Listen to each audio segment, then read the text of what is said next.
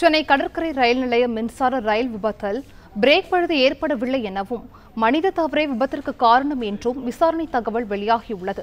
இது குறித்த கூடுதல் விவரங்களை வழங்க எமது செய்தியாளர் சரவணகுமார் நம்மோடு இணைந்திருக்கிறார். சரவணகுமார் வணக்கம். இது குறித்த விவரங்களை பதிவு செய்யலாம்.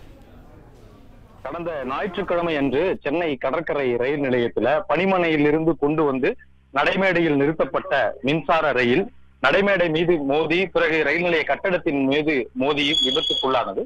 இதில் பயணிகள் யாரும் இல்லை. பணிமனையிலிருந்து வந்த இந்த லோகோ பைலட் ஒருவர் பவித்ரன் என்பவர் மட்டுமே இருந்தார். அவர் லேசான காயங்களுடன் வந்து உயிர் தப்பினார். ஆனால் அவர் அப்பொழுது நடத்தப்பட்ட விசாரணையில இது பிரேக் பழுது ஏற்பட்டதனால் இது விபத்து நடந்ததாக அவர் முதற்கட்ட விசாரணையில் தெரிவித்திருந்தார்.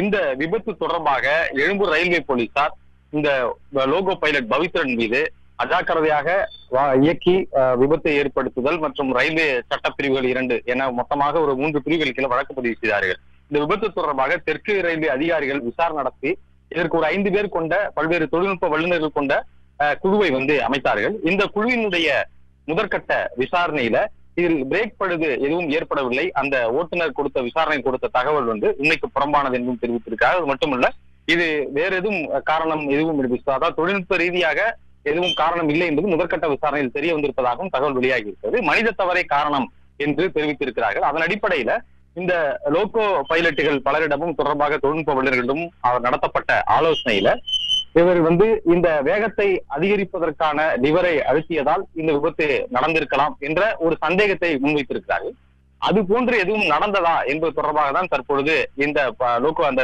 ரயிலை இயக்கி லோகோ பைலட்டும் விசாரணை நடத்தப்படுகிறது. அது மட்டுமல்லாமல் அவருக்கு எதுவும் உடல்நல பாதிப்பு ஏற்பட்டு இது போன்ற விபத்து ஏற்பட்டிருக்கிறதா என்பது தொடர்பாகவும் ஒரு விசாரணை வந்து நடத்தப்பட்டது. அவருக்கு மருத்துவ பரிசோதனை செய்யப்பட்டது. விபத்து நடந்த நேரத்தில் ஏதும் அவருக்கு வந்து சிறுநீர் ரத்த அழுத்தம் வேற எதுவும் அவருக்கு ரத்த அழுத்தம் ஏற்பட்டிருக்கா அல்லது மது அருந்தினாரா என்ற பல்வேறு சோதனைகள் செய்யப்பட்டதுல.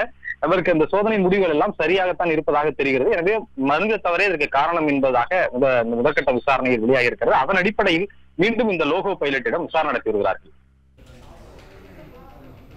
விவரங்களுக்கு நன்றி சரவணன்.